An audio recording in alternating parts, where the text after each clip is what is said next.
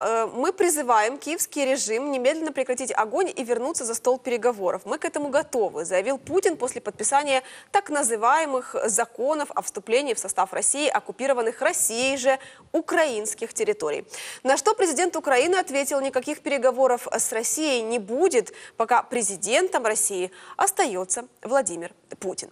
А вот сколько времени ему осталось у власти – вопрос. Президентские выборы в России в 2024 году, но досидит ли Путин Путин до них в своем кресле и кто возможный преемник. Говорим далее. Абаз Галямов, политолог, политтехнолог, наш следующий гость. Здравствуйте, Абаз. Здравствуйте. Здравствуйте. Вот вы опубликовали доклад, который называется «Проект «Преемник», где разобрали возможных кандидатов на президентское кресло и их перспективы. Мы о них еще поговорим, но сначала, вот э, когда этот вот ваш проект э, «Преемник», по-вашему, может быть актуальным? Следующие выборы президента 17 марта 2024 года. Но досидит ли Путин до них в своем теплом кресле? Не факт. Для Путина, поскольку он стремительно слабеет, э, запустить этот проект э, выгодно поскорее самому, а, не оттягивая это дело. Потому что, э, понимаете, если в тот момент, когда он этот проект запустит, он окончательно совсем уже слабым будет, совсем нелегитимным, неспособным, ну, не имеющим перед собой а, вариантов решения ни одной из тех проблем, которые сейчас встают перед страной, перед режимом, ну, в этой ситуации его выбор уже не будет э, безусловным. На самом деле он и сейчас уже может не быть безусловным. То есть какие-то группировки элиты, они а, могут этот выбор не принять. И тогда это внутренний раскол, и это почти гарантированный проигрыш. Если, может быть, и не совсем там, гарантированный проигрыш, но, по крайней мере, система резко ослабеет, и, а, возможно, этот проект реализовать не удастся. А, поэтому ему надо проект запускать вот в тот момент, когда он еще в достаточной степени силен, чтобы все элитные кланы, все кланы, группировки, которые существуют в его окружении, приняли, а, что называется, его выбор. А, понимаете, там же до сих пор, вот на протяжении долгих лет, безусловным лидером был только один Путин, а все остальные фигуры уровнем ниже, они уже не были безусловными, они, у каждого из них были враги. А, понимаете? И преемник, кого бы Путин не выбрал, он тоже кому-то, каким-то кланам окажется ближе, каким-то кланам, от каких-то кланов окажется дальше.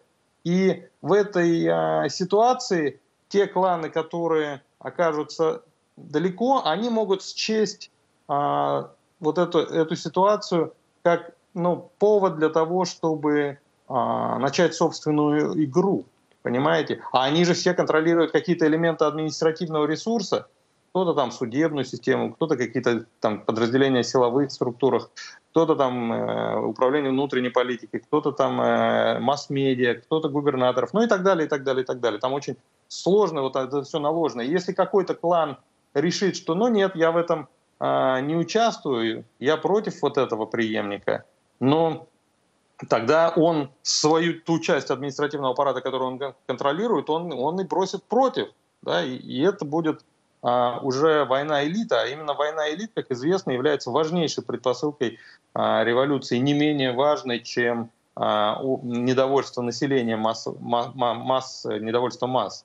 Да, поэтому вот я и говорю, что Путин, в принципе, сам заинтересован в том, чтобы это все ускорить.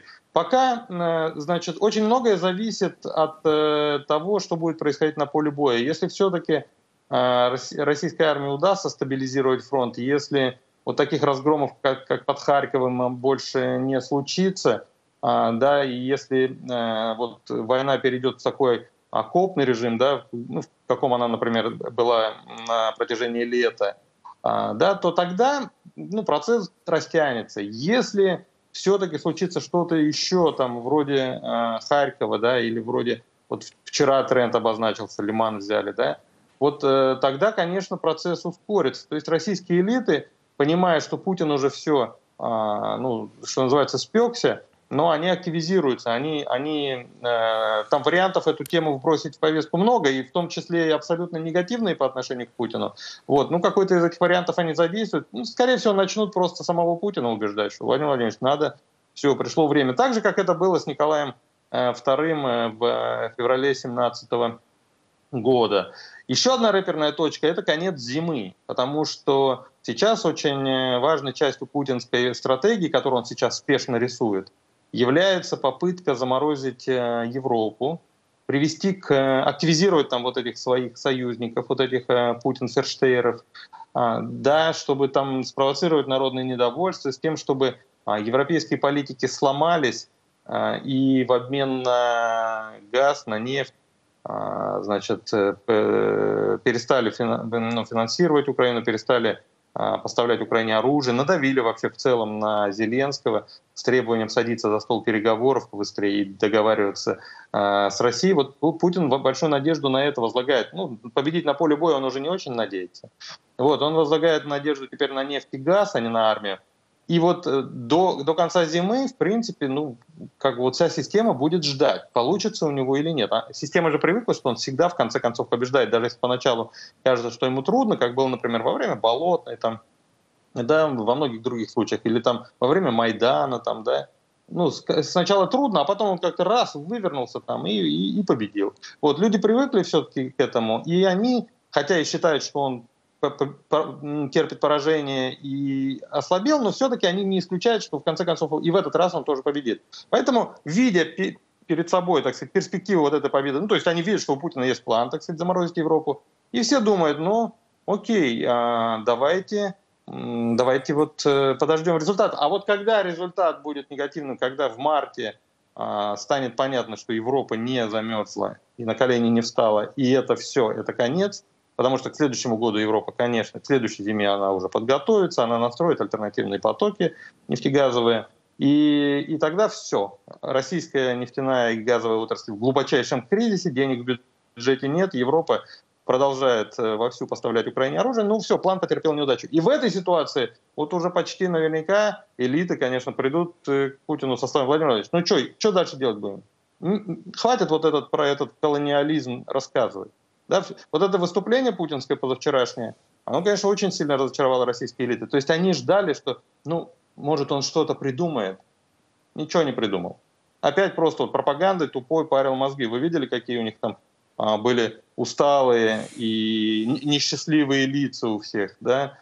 А, они просто глаза закатывали, там сидели. Ну, понятно, они его боятся пока еще, они там смеяться нельзя и кричать там «долой» нельзя, но в глубине души они понимали, что все, это, похоже, конец.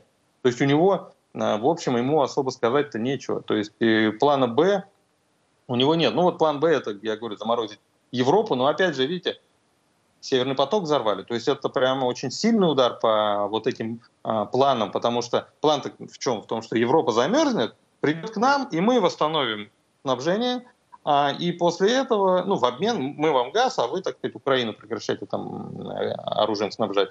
Вот. А теперь-то что? Даже если Европа замерзнет, как она газ-то получит? Ну, трубы-то взорваны. Да, и, и это очень сильный удар по этому путинскому проекту, вот этот взрыв на Северном потоке. Поэтому ситуация для него э, ухудшается стремительно, и я не исключаю, что этот э, проект-преемник будет запущен ну, в относительно недалекое время, возможно, даже не дожидаясь марта. А как вы считаете, вот этот проект, он инициирован будет именно вот этими элитами, которые возле него? Э, ну, вряд ли Путин вот согласится действительно кому-то отдать власть. Ну, судя по тому, как он себя ведет вот в всех этих ситуациях, когда он э, упрямо идет вот четко вот по своему какому-то вот плану, да, который у него есть, и он не сворачивает, даже если это там э, сулит ему и его стране огромные проблемы. Понимаете, для того, чтобы согласиться либо не согласиться, нужно а, обладать определенным а, набором а, полномочий, нужно иметь силу не согласиться, проще говоря. Вот. А если ты просто присутствуешь при развале твоей системы, ну а как ты можешь не согласиться? Ну, ну в какой-то момент просто ты ослабеешь настолько, что все без тебя а, произойдет. Я вот там в докладе в своем описал, э, ну так вскользь упомянул, вернее, подробно не описал, кто захочет, там найдет в интернете, все это есть.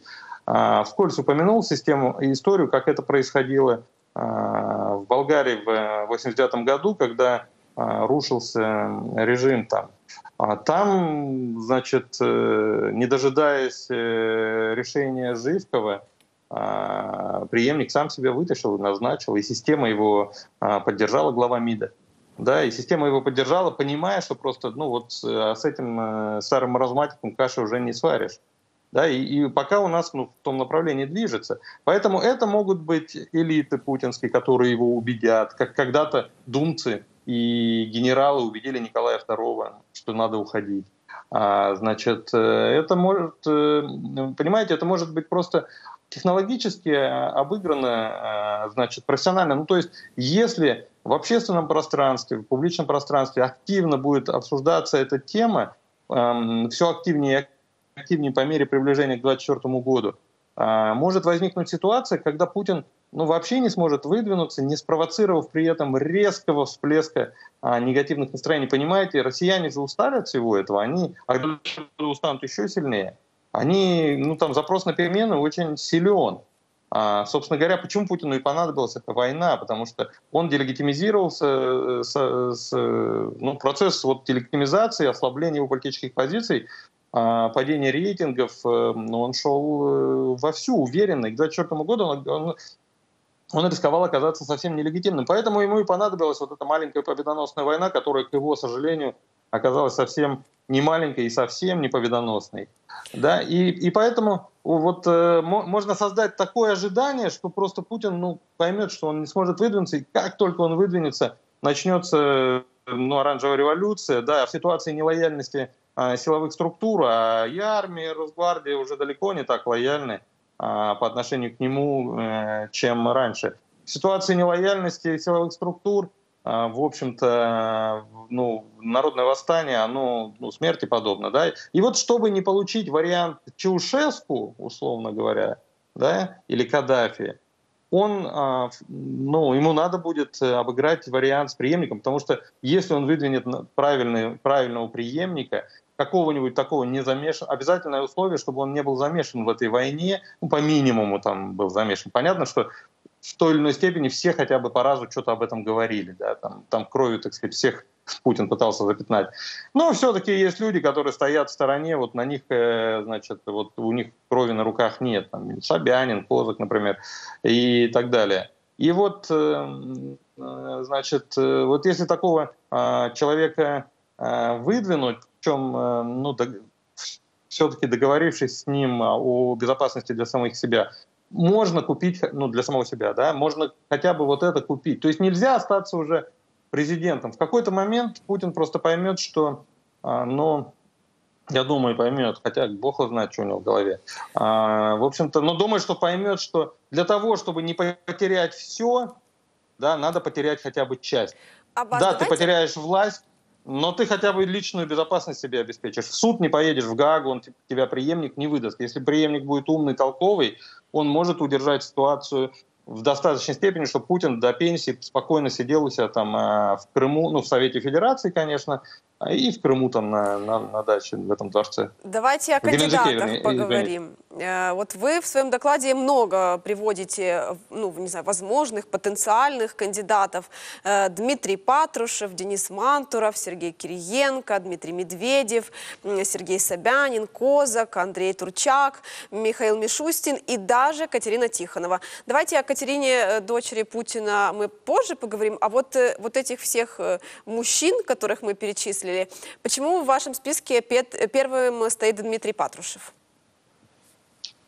Ну, мне кажется, на сегодня он э, там его активнее всего внутри обсуждают. Понимаете, вот то, то о чем я написал, это же не только а, вот э, ну, мое видение, мое понимание, но это в принципе результат а, диалога с каким-то, как, ну, в конце концов, я же а, там внутри работал, да, у меня сохранились какие-то отношения, какие-то связи с людьми. Там же далеко не все чокнутые психи. Вернее, я вам скажу, что большинство совсем там не чокнутые психи.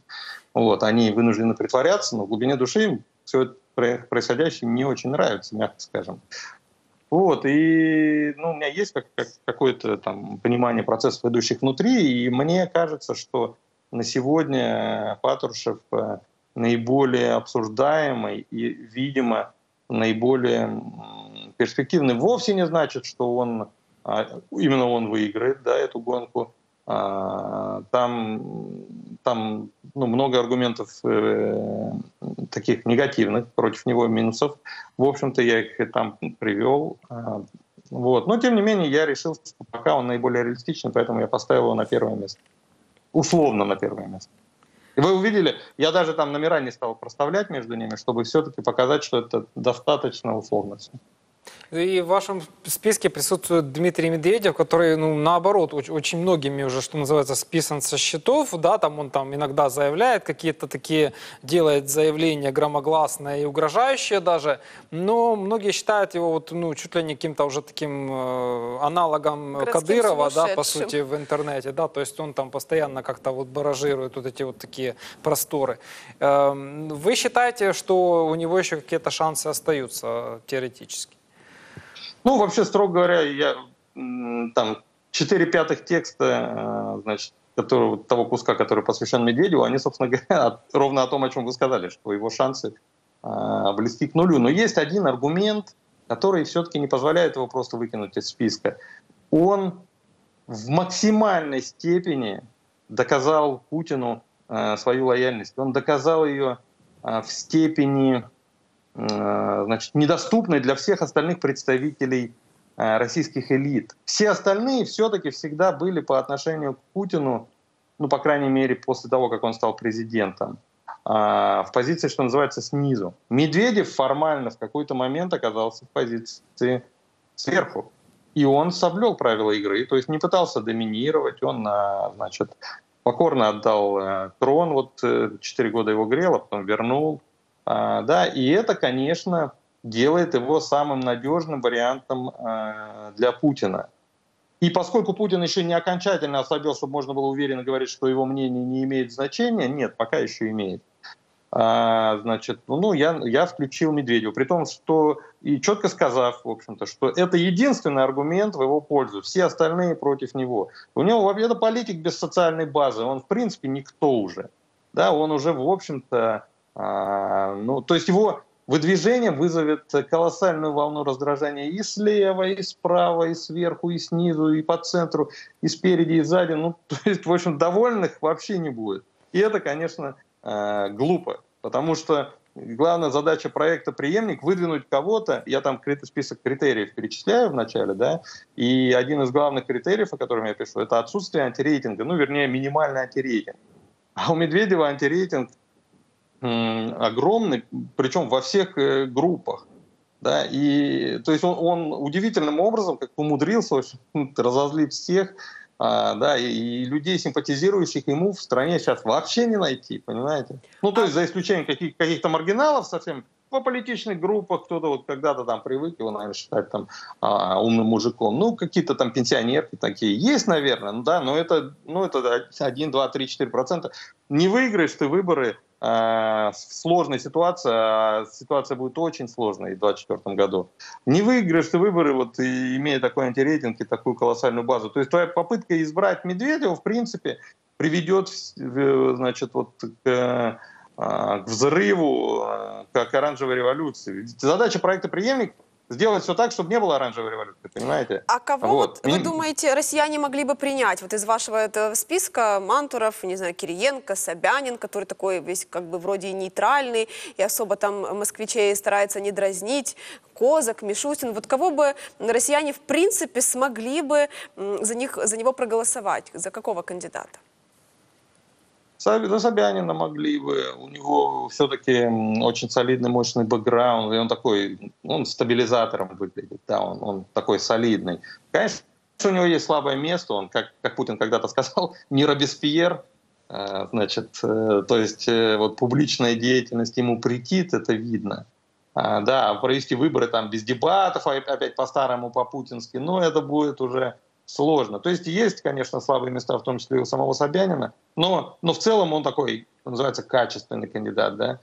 Вот. э, Козак, э, он, мне кажется, лучший коммуникатор, и у него есть э, потенциал в этом смысле лучше, чем у Собянина Кириенко. Болтун, конечно, в принципе, он неплохой коммуникатор, но у него много там других минусов. То есть я думаю, что все-таки Кириенко избраться будет сложнее, чем Собянину и Козаку. Мантуров, он, э, в общем-то, ну так, может зубы заговаривать. Э, Есть аргументы в пользу, при том, что ну, мне он сам не очень нравится, но, а, в общем-то, ну, предпосылки к тому, чтобы победить, есть. Надо понимать, я там специально, предпоследний абзац у меня, даже последний, по-моему, как раз посвящен вот этой теме. Надо понимать, что э, значит, от момента э, выдвижения кандидата, начала вообще запуска проекта «Преемник в публичном пространстве» до момента голосования за него должно пройти э, как можно меньше времени. То есть люди должны на эмоциональной волне вот это, о, слава богу, Путин уходит там, чтобы они, они вот в, в какой-то момент они будут готовы от радости просто да, проголосовать почти за кого угодно. Ну, то есть, если не откровенный упырь, если не раздражает там совсем уже, типа Медведева, да, вот, то, в принципе, ну, там, и за Козака проголосуют, и за, значит, э, э, э, это, Мантуру проголосуют, и за Собянина проголосуют, вот. Но это должно быть быстро, пока у них вот эта эмоциональная волна, слава богу, Путин уходит, не спала. Любая эмоция же спадает со временем, да, и поэтому, а вот после того, как она спадет, тогда э, они начнут рационально там мыслить, копать, там биографию смотреть, компромат там какой на него, да, думать вообще плюсы-минусы вешать.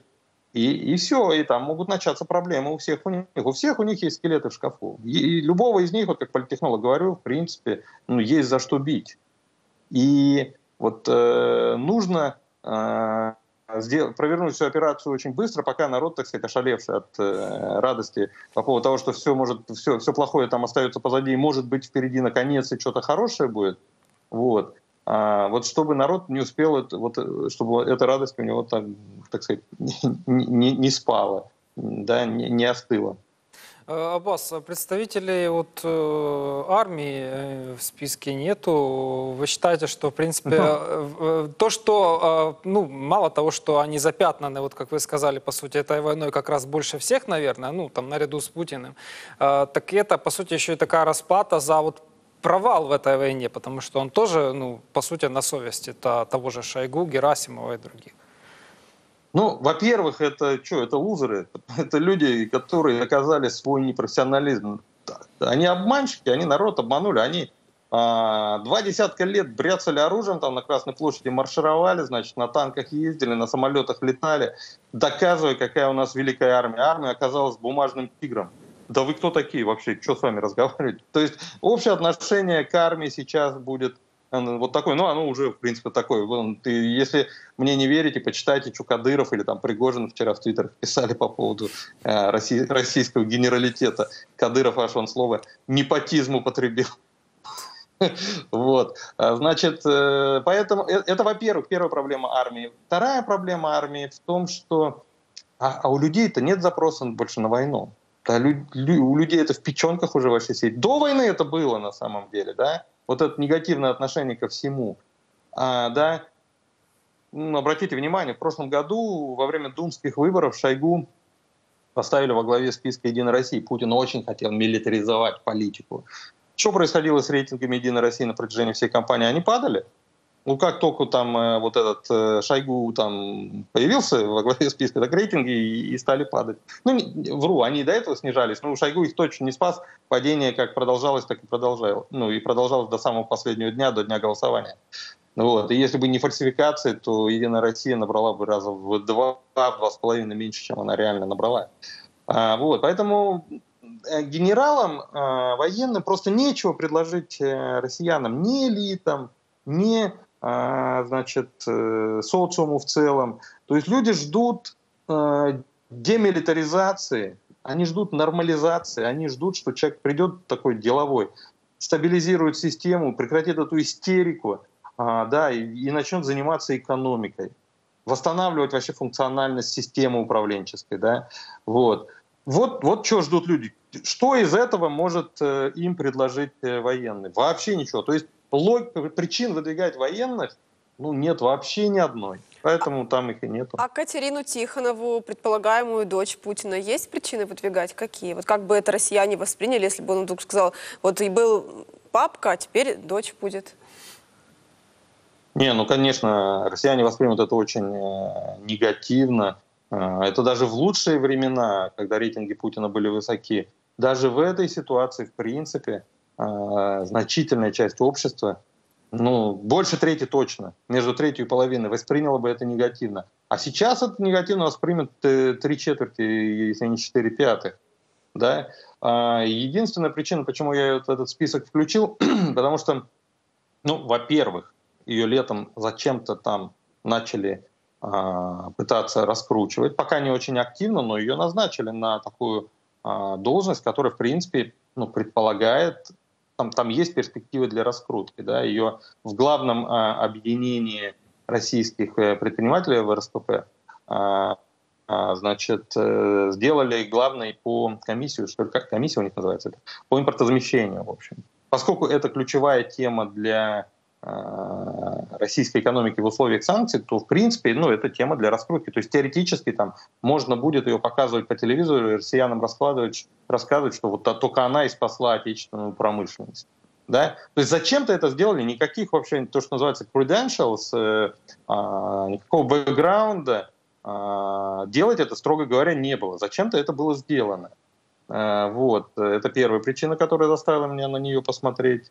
А, значит, это, это еще не гарантирует, что ее точно взялись раскручивать. В принципе, пока не взялись. Но потенциал есть, создан.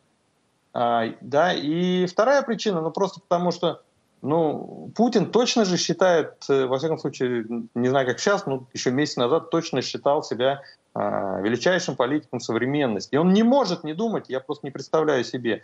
Когда он посмотрел, допустим, как в марте в Туркмении там э, папа передал власть сыну Бердамухамедов. Ну, тут же, посмотрев на это, он э, вспомнил, как э, это сделали Алиевы, да, да, Кимы корейские уже три поколения – вот. Э, какие, ну, там э, я перечисляю список, в принципе, ну, за последние а, полвека там, ну, десяток кейсов-то есть, там, Дювалье, там, да, а, и вот Путин, ну, у него не может не зародиться мысли, слушай, а что я вообще парюсь? Ну, вот э, если эти придурки смогли, то я-то величайший стратег, геополитик, ну, я-то точно смогу.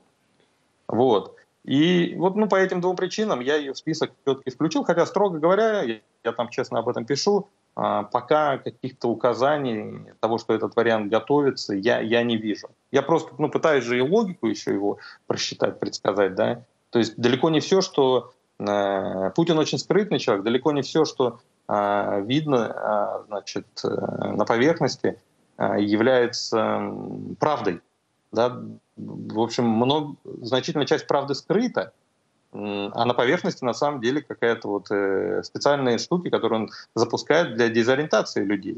То есть Путин же, он по своей сути чекист, он, он так и не стал политиком нормальным, да, он как был чекистом, так и и остался. Поэтому для него обмануть общественное мнение – это сверхзадача. Вот для политика ну, такой задачи не стоит. Он иногда может обмануть, да, но специально там этим заниматься, придумывать операцию отвлечения внимания, прикрытия – он не будет, он не рассматривает вариант, когда его, об его планах стало известно, он не рассматривает ситуацию, когда об его планах стало известно, а, как катастрофу, как поражение, да, ну, для политика нормально, в общем-то.